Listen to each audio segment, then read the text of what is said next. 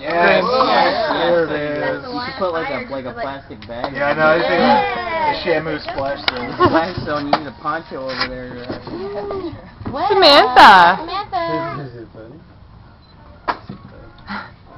Of course, the battery on this isn't charged. Yum yum yum. So I'm, I'm very glad we have a water hose. come yeah, we Oh no, it's, why it's coming outside? Yum yum. Oh, there you go. Need some motivation. Dig into the the meat of that thing. Go for it. Go taste it. She's so confused because I make her be never clean all do, the never time. Let her, uh, Yeah, I know. We're so if she gets something like that in her hands, we wipe it off immediately. immediately. She's just waiting for the washcloth to come out. She's I don't want Nice to do. There you go. I'm sorry.